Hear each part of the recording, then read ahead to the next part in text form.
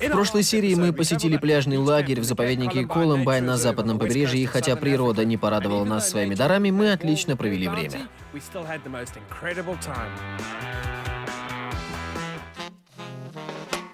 Если поразмыслить над историей человека как вида, окажется, что люди были кочующими собирателями, обитателями буши и побережья несравненно дольше, чем мы живем в домах или имеем водопровод. Если что-то брызгается, пищит или дышит, оно неизбежно окажется на углях и превратится в отличное блюдо. И лишь за последние несколько веков мы утратили знания, делавшие нас самыми успешными охотниками и собирателями, гастрономическими королями и королевами планеты. Я Джастин Банелло, и эта программа приготовлена в Африке. Приготовлена в Африке. Бокап, Кейптаун. Знаете, в нашем занятии самое удивительное то, что это меняет взгляды на жизнь. Как граждане Южноафриканской Республики мы никогда не путешествовали по городкам. Мы видели туристов, которые их снимают, они это делают. Мы, южноафриканцы, нет. Об этом стоит задуматься. В 1994 году, после многих лет международных санкций и внутренних беспорядков, национальная партия была вынуждена отказаться от политики расовой сегрегации. Центрами политической оппозиции, как правило, были поселения, окружавшие крупные города Южноафриканской республики. Это начало 12 серии, и она будет несколько необычной. Это единственная серия, где у меня действительно есть возможность изменить ваши представления о Южноафриканской республике. Оуэн и Roots of Africa устроит вам небольшую лекцию, чтобы мы могли показать вам, что здесь произошло и как возникла сегрегация. В 1948 году Южноафриканская республика отделилась от Британии с ее общим благом, а два года спустя в нашей стране был узаконен апартеид. По сути, акт о групповых областях — это закон. Страну взяли и разделили на множество мелких зон, отдав каждую зону определенной расовой группе. Лучшие районы Южной Африки были отданы белым, менее привлекательные районы — не белым. Говоря «не белые», я подразумеваю цветных, индейцев и мусульман. Худшее досталось черным. Так были белые, не белые и черные. Шестой округ, где мы сейчас находимся, автоматически отошел белым, и они пригнали сюда бульдозеры. Те бульдозеры остановились лишь тогда, когда на месте домов остались пустоши, которые вы видите сейчас вокруг. У местных жителей не осталось иного выбора, кроме как переселиться в дома, построенные для них в поселке за чертой города. Город был предназначен только для белых.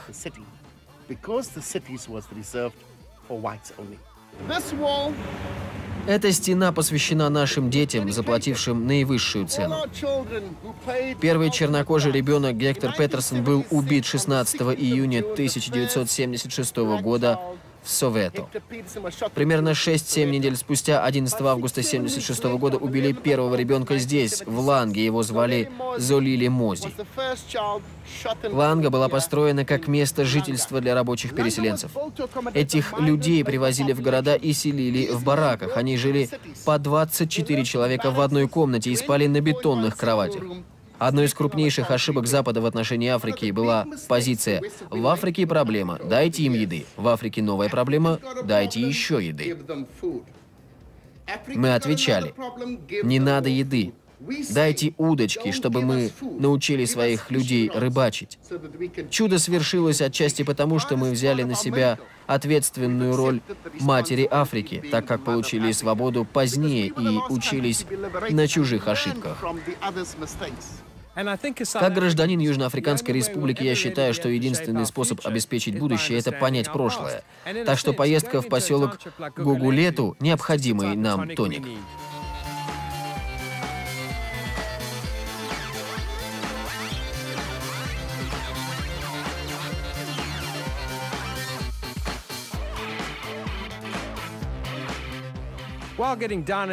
Отбившись от рук в поселке, я осознал, что смогу показать вам его истинный масштаб только с воздуха. Я позвонил другу, у которого есть вертолет, и договорился об экскурсии. Это один из приятных моментов. То, что мы будем делать, вам обязательно понравится.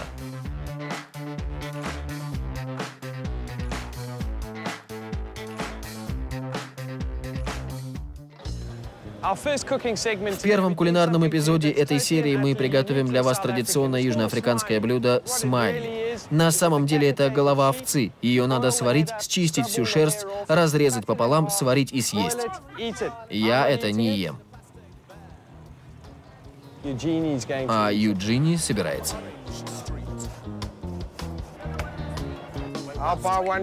Ребята, я вам тоже куплю. Можно две? Распространенное заблуждение, если вы взяли смайли, вам придется съесть мозг и прочие сомнительные части. На самом деле вам достанется язык и вкусное сладкое мясо щек. Единственная проблема, вам придется повертеть головой. Это не каламбур. Кстати, это африканский деликатес. Отлично. Спасибо, парни. Спасибо.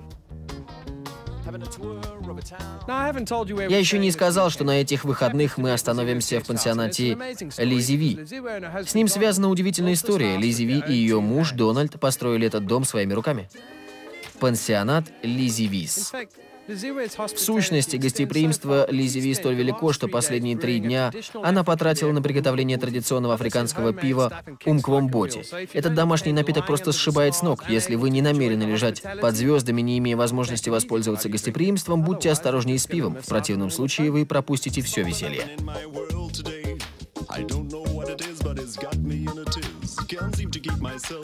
Умквомботи – африканское пиво. I don't know what to do needs some time on his own. And a woman she needs to get into her own. Yes, a man needs some. Сначала я должна выпить сама, чтобы показать, что там нет яда. Дай подержу. Ты его выпьешь. Я думал, это повод, но Ладно, я могу выпить умквамботи, когда стою, но опущусь на колени.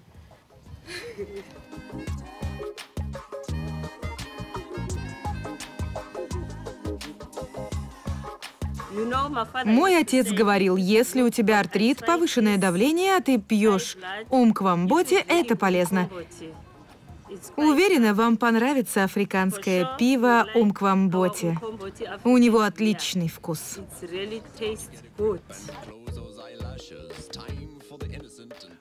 Однажды журналист спросил меня, что я готовлю, когда надоедает готовить. Если the честно, тогда я не готовлю. На этих выходных мне не хочется готовить, но Лизи Ви согласилась стать приглашенным шеф-поваром нашей передачи. Первое блюдо меню печень овцы. Я помощник Лизи Ви, она будет готовить и today, говорит, so что делать, и пояснит вам, что к чему. Так? Да, Джастин.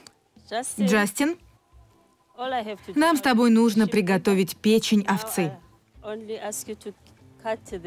Пожалуйста, нарежь это кубиками. Кубиками? Да, и зеленый перец.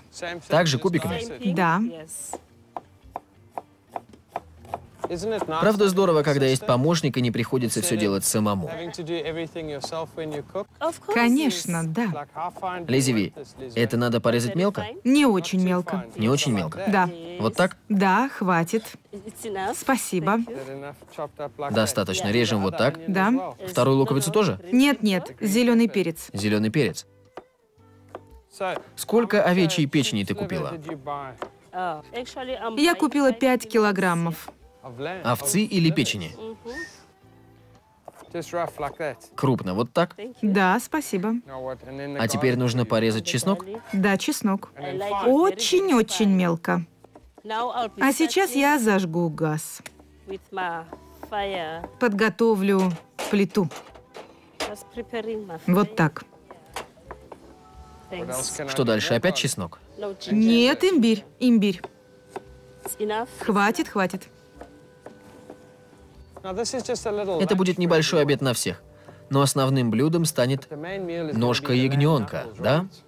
will Это будет ножка ягненка. Унквоша, морковь, стручковая фасоль.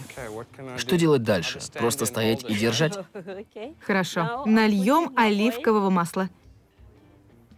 Я готовлю на for 15-16 человек, поэтому я налью сюда. Много масла. так много, просто смотри. Как ощущение? Знаешь, я не... uh, Я прекрасно себя чувствую, люблю, когда меня снимают. Правда. Ты отлично смотришься в кадре. Да. Начинаем выкладывать зеленый перец, чеснок, имбирь. Так, говяжий бульон. Говяжий бульон. Один кубик, два, Два, два. два. А сейчас добавим чатни. Прости, Джастин. Прости. Чатни – традиционный южноафриканский соус из тушеных фруктов со специями. Можете представить, какой он даст приятный фруктовый аромат. Да? Да. Это моя исибинди, печень. Ты кладешь туда все, что есть? Да.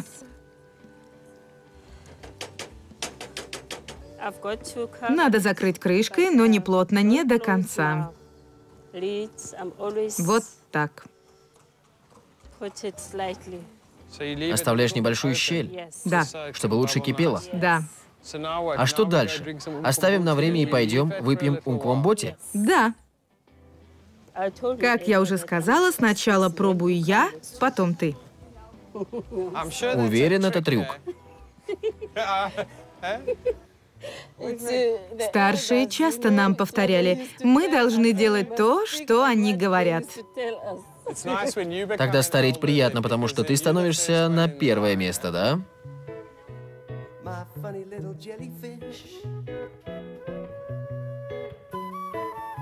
Печень готовилась в течение 15 минут. Она готова?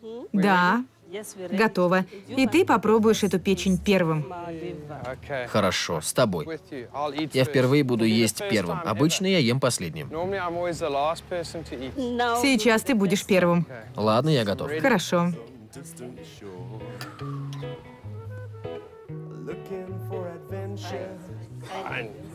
Хорошо. И немного этого соуса. А теперь? Огурец? Да. Латук? Да, и будем пробовать. Да. Лизиви, если не возражаешь, я сделаю из этого большой рулет. Я не возражаю. Джастин, главное, поделись впечатлениями.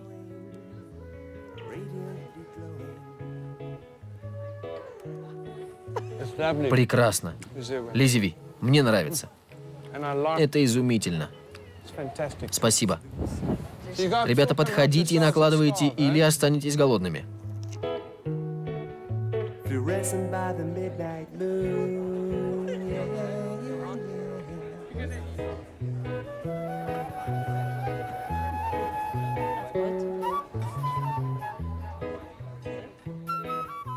Мне так приятно, когда я вижу, что котел почти пуст. Это значит, я лучший повар. So it shows that I'm the best cooker. Именно так. Ножка ягненка. Теперь, когда мы пообедали, Лизиви приготовит нам ножки ягнят. Как вы видите, по размеру кастрюли замышляется нечто серьезное. Это не на 10 человек, это на всю семью. Нас в том числе, ибо мы стали твоей семьей. Итак, приступим к приготовлению. Для начала надо приготовить кукурузную кашу. Musho. Каша из маиса. Это кукурузная каша. Каша из маиса, спасибо. Вот в этой кастрюле уже кипит вода. Каша будет готовиться около трех часов. Столько же, сколько ножка ягненка. Так? Пожалуйста, завяжи мне фартук. Я за спиной не умею. Женщины могут и за спиной. Мужчины. Ты же знаешь, мы так не умеем. Кладем мясо прямо в кастрюлю. Да. Это очень простой процесс.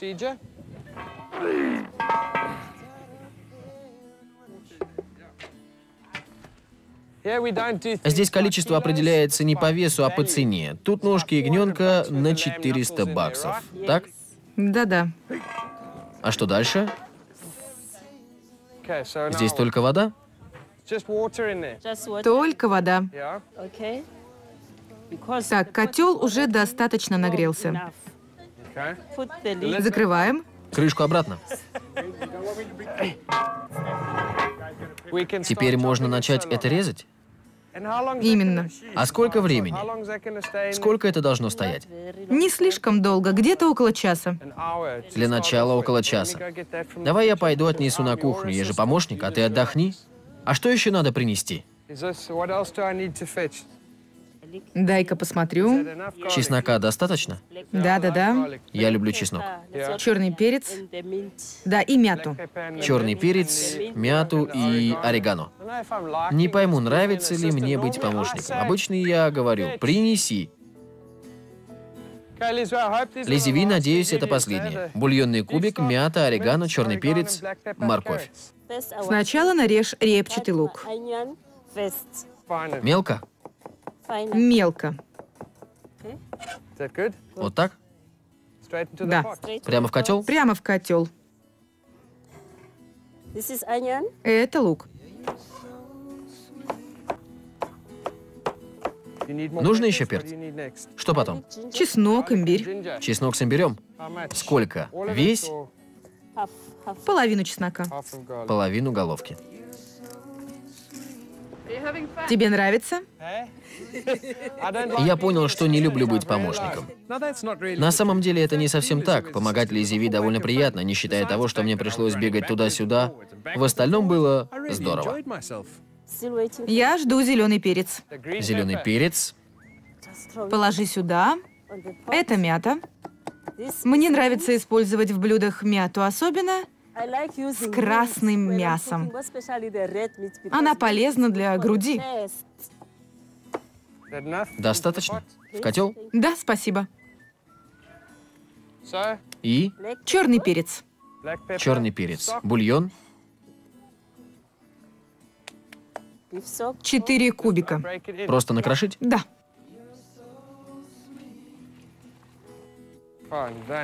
И закрываем крышкой. Именно.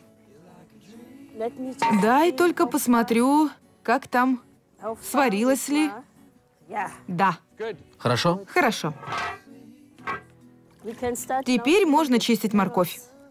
Это следующее? Следующее. Это уже очищено. Ее надо крупно порезать? Да, да, вот так. Ладно. Ее надо сполоснуть? Конечно. Я сейчас вернусь. На плиту закрываем. Воды сколько надо? Давай проверю. Воды. Слишком много? Да. А теперь что делать? Нужна стручковая фасоль. Стручковая фасоль несу. Это она? Это она. Ты же не пошлешь меня опять, да? Нет, нет, нет, пока нет. Ah, Теперь я знаю, что чувствует Гард. Можно отдохнуть? Нет, нет, нет. Нет? Что надо делать? Я все надеюсь, что ты дашь мне сесть и расслабиться. Мне нужна посуда для этого. Посуда для этого, ладно. Последний раз. Просто, Джастин, в последний. Ты в долгу. Обед должен быть вкуснейшим. Конечно. Подождем, пока приготовится морковь. But we're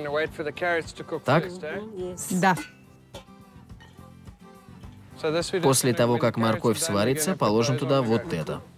Можно отдохнуть? Можешь, но сначала загляни в тот котел. Да, мэм.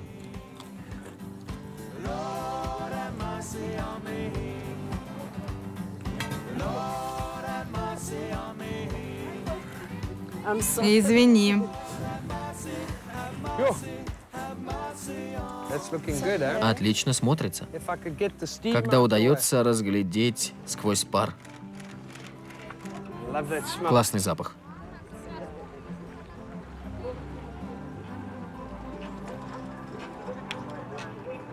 And what about a А мне taste дашь попробовать? That's not a taste Так не распробуешь, taste. надо по-настоящему. Надо еще положить.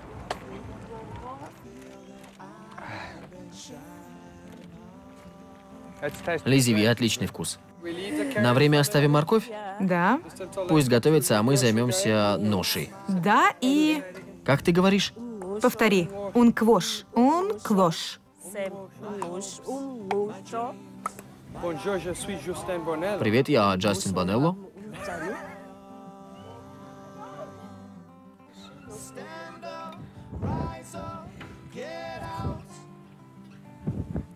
Это уже вкусно. Да, мягкие. Думаю, огонь нам не нужен. Погасить огонь?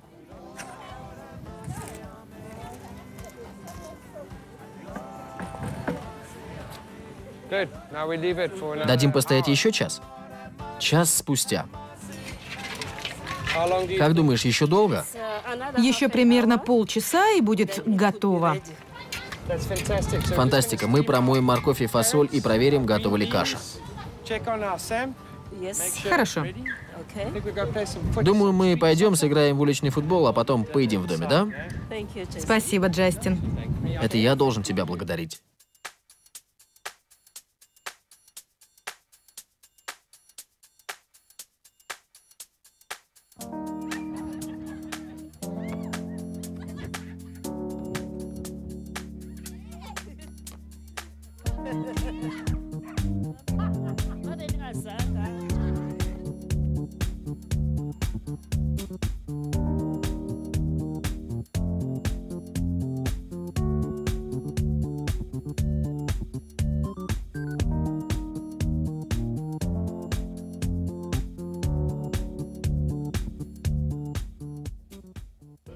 Большое спасибо Дональду и Лизе Ви. And Lizzie where? Lizzie where? Лизе Ви за сегодняшний обед и за гостеприимство. Думаю, нам действительно повезло. И самое главное доказательство, каков твой обед на вкус.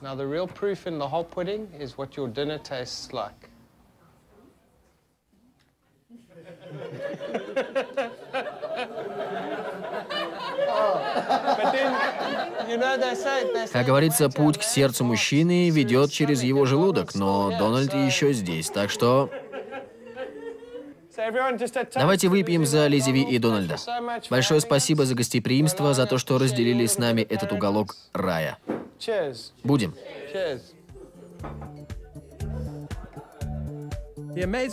Вот поразительная история, которую я обещал в начале серии.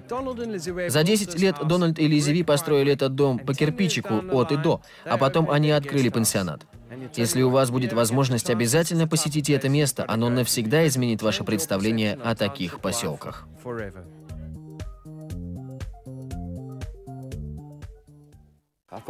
Я боялся, что в этом поселке мне будет мешать спать музыка и городской шум ночь напролет. Но я проспал всю ночь, как мертвый, в том смысле, что я замечательно выспался. Сегодня, чуть позже, мы поедем в Мозолис. Это знаменитая мясная лавка, куда ходят все звезды мыльных опер, все звезды футбола. Там все отлично развлекаются, так что я хочу пойти потусоваться и попробовать иньяма, южноафриканское мясо. У меня приготовлен небольшой подарок для Лизиви, отличный автомат для кофе. У нее такой нет, а в хорошем пансионате должен быть превосходный автомат для кофе. Этот опыт навсегда изменил мое представление о жизни в поселке. Это Лизиви произведение искусства. Автомат для приготовления кофе. Мне всегда хотелось такое иметь, но я не могла его себе позволить. Это для гостей, чтобы поутру вы могли предложить им чашечку ароматного кофе. Нравится? Отличный кофе.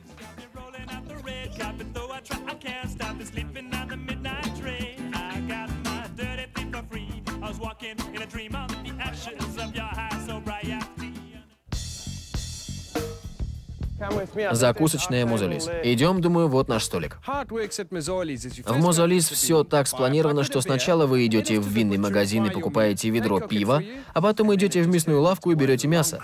Его для вас готовят, и все завершается долгой безумной вечеринкой.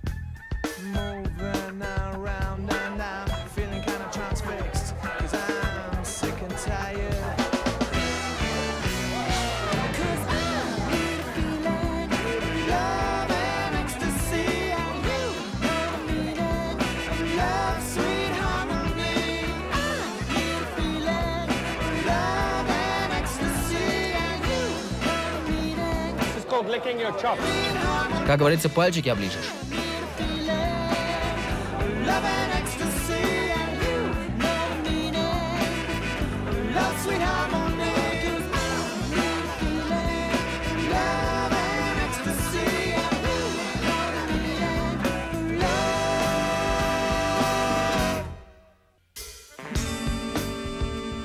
Отличное завершение для 12 серии. Остаток дня мы проведем в Мозолис.